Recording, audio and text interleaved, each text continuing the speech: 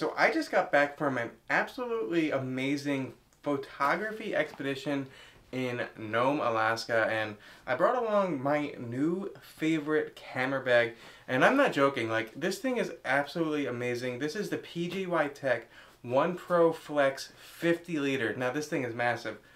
Why do I need 50 liters? Well, wait till you see how much camera gear I have built into this thing. Well, it's not built into it, but how much camera gear I have built. Why do I keep saying built? I don't know. How much camera gear I have inside this bag. It's going to be... a pretty mind-boggling experience, I think, for you guys to see what you can get. And not only can you get it in the bag, but it fits in overhead storage in the airplane, even in smaller planes. So when I flew to Nome, it was like a 700, 737, 700. And uh, so pretty tiny. The overhead is really, really compact up there, but it does fit. I do have to put the bag sideways, but uh, no issues other than that. And let's dive into the bag. First thing I'm to do is show you guys the sides. I got two tripods on the sides. This is one of the things I don't like about the bag. I'll just get it right off the bat is I don't like these clips because you have to pull them and I'd rather just have a, a buckle. Yeah, I think the buckles snap better. I think it's just easier to use.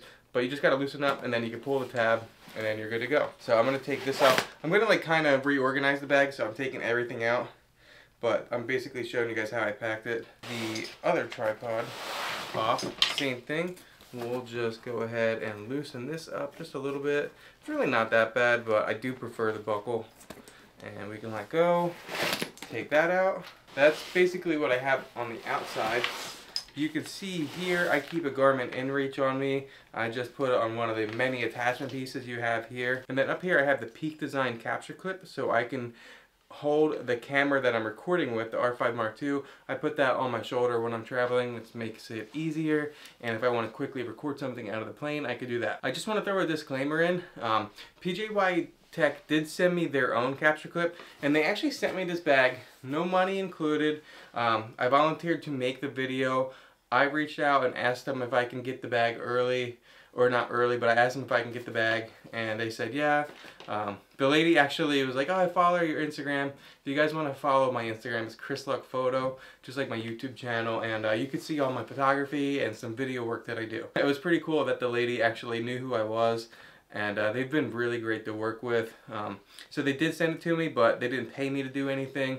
They're not to see the video before I make it. Um, this is just my honest review on the bag. The reason I asked for this bag is because I have so much stuff in here. Right here on the back, it's got their Ace frame. That's what they call this thing. It's basically like a hunting bag, how it's got the external frame, but it's a photography bag. And I'll show you how everything sets up on the inside but it's really nice. It takes a ton of weight off my back. I had this at 47 pounds and I was able to walk around with ease throughout the airports while I had long layovers and uh, it was just really nice. I could hike up smaller hills with it and not have any major issues. I'm not like super in shape or anything so a 50 pound pack for me is you know a pretty good weight you know but super duper comfortable. It's got these really nice padded strips and then this one padded strip here or whatever you call these things, padded um, waist straps, I guess. I keep this small rig little utility tool here.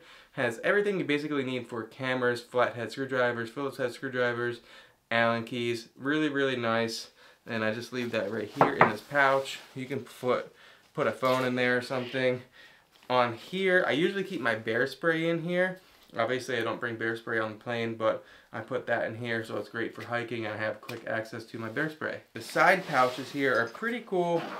If you go to this one, I got, oops, I got a headlamp, and I got a soft light, and I got a flashlight. This is my night photography side, so I'm just gonna put that stuff back in there, and we can go ahead and zip that up. Now they do offer like memory card slots and stuff. I don't really use them. I don't really feel that organized when it comes to my stuff. Um, it's a little too organized when I use that kind of stuff. Let's flip over to the other side. And same thing over here, except on this pouch, uh, in, in this little zipper here, I just have some of these uh, lens cloths.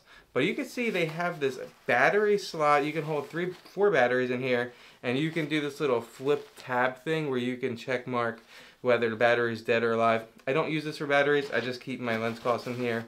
I like to put tripods on the side and I don't like to have too much bulk on the side pouches. Also set it up so you have a quick release to some photography gear. I'm I don't use this. I prefer I prefer not to use this. I have a DJI Mavic 3 Pro in here, but I'm not really using that side pouch. I don't like it. Never really need it.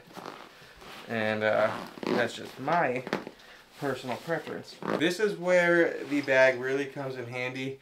It's 50 liters, but it's got this extra pouch up here.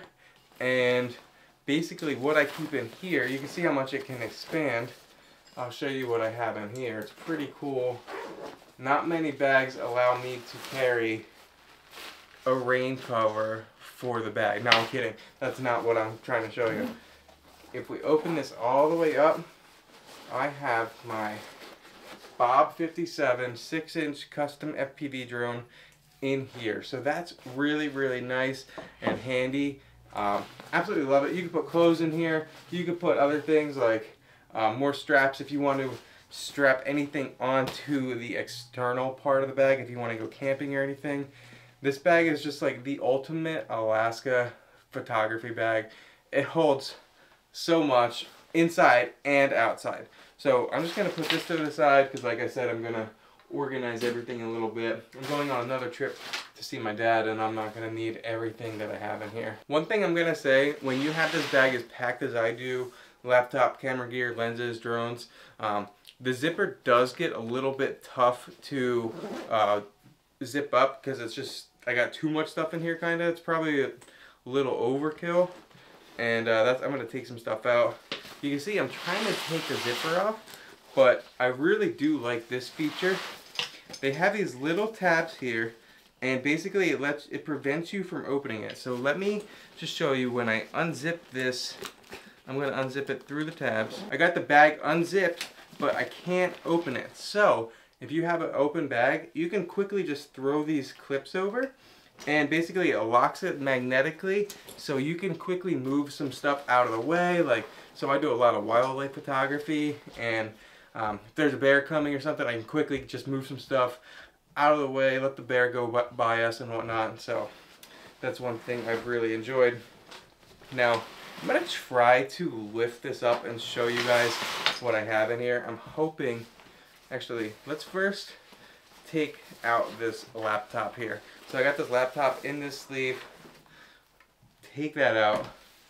And now I'm just to lift this up just a little bit so you can kind of see what I got in here without hopefully everything falling out. Bunch of stuff. I'm to take it out one by one and show you exactly how it is. But I mean guys, camera body, camera bodies there, which goes on my Peak Design. So two camera bodies I can bring uh, 70 to 200, 100 to 500, 24 to 70, 20 millimeter f1.4, 50 millimeter f1.2. Uh, this is the uh, DJI Osmo Pocket 3, Mavic 3 Pro. Uh, this camera body has a lens on it, 10 millimeter. Let me just take everything out so I can show you guys.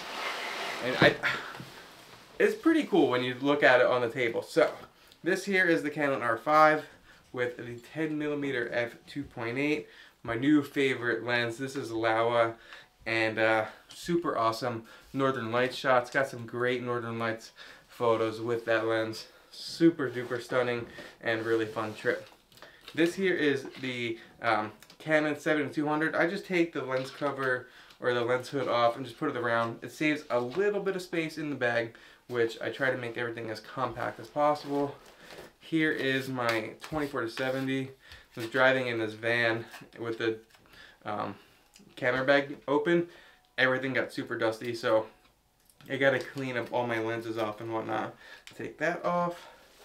This is the 70 to 200, or 70 to 200, sorry, the 20 millimeter f1.4. This is great for Northern Lights, astrophotography. I love it for live Northern Lights videos because it lets the most light in between all my lenses.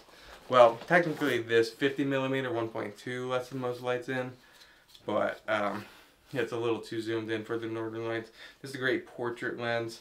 Um, I'm gonna try to dabble into some wildlife photography with the 50 millimeter f1.2 this year because I just don't use the lens enough. This lens I use every day. This is the Canon RF 100 to 500. Canon gets a rap for having such huge lenses, but I mean, this is a 100 to 500. This is a 7200. That is pretty pretty neat for having such big um, zoom ranges for having such little um, size. I mean, look at this, guys. 7200 and 100 to 500. That's tiny. That's that's neat. We'll take this out. We'll just take the lens cleans, leave them there.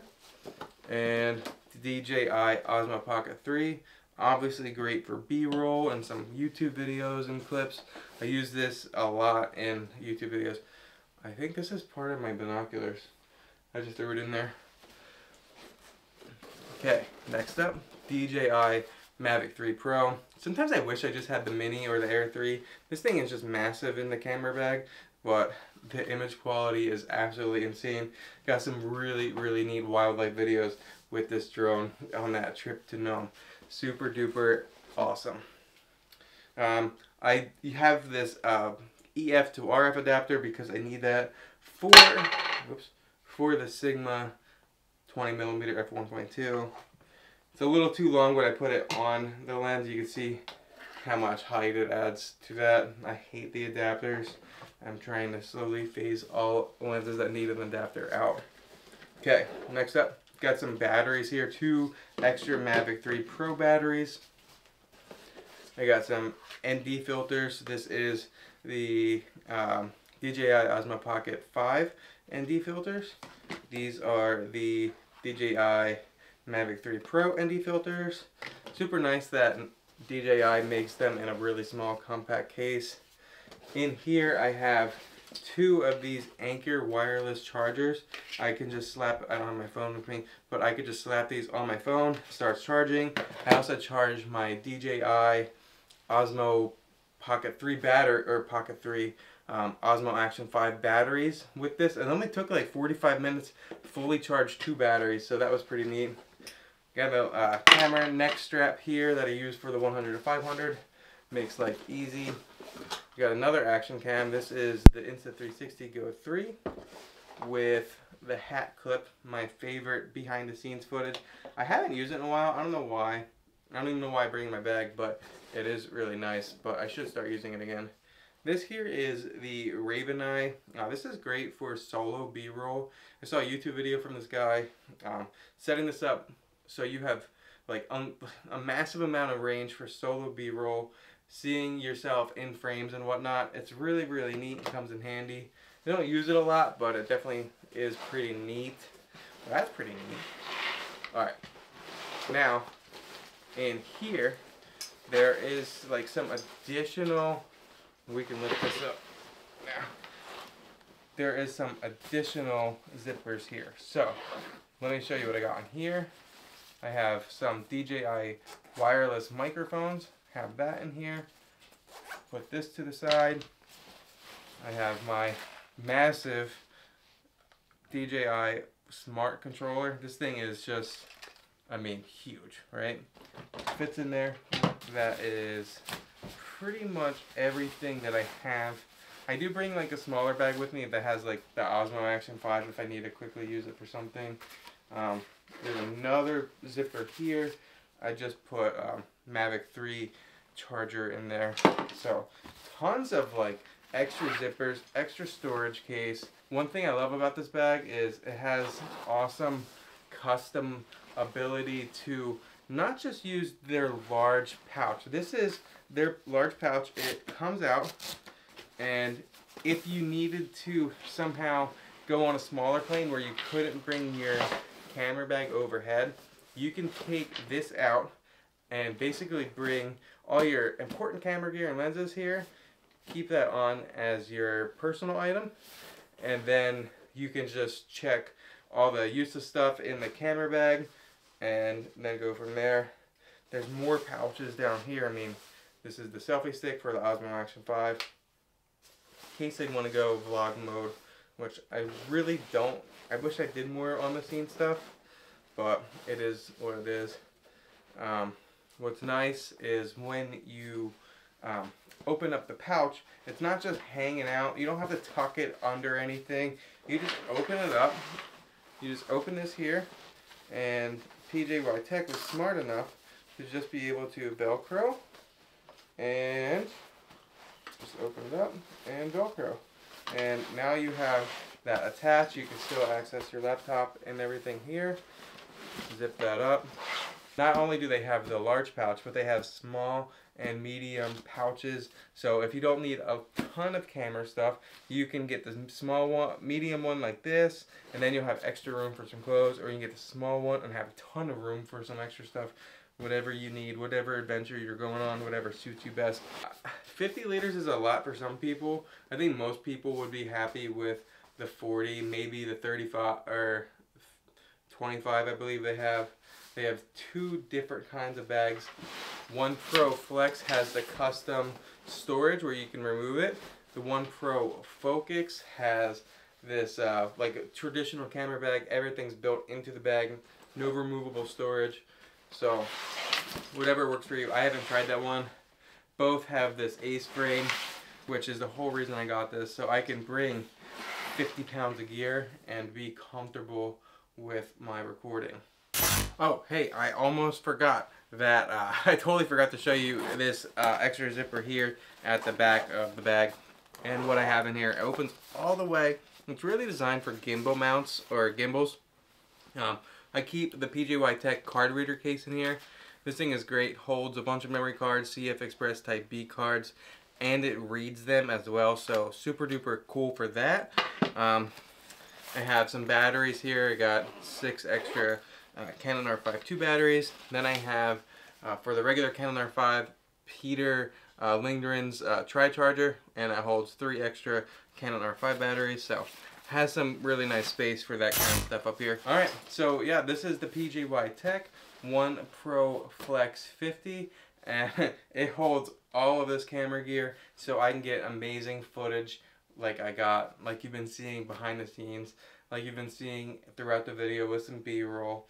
I absolutely, absolutely, absolutely love everything about this bag.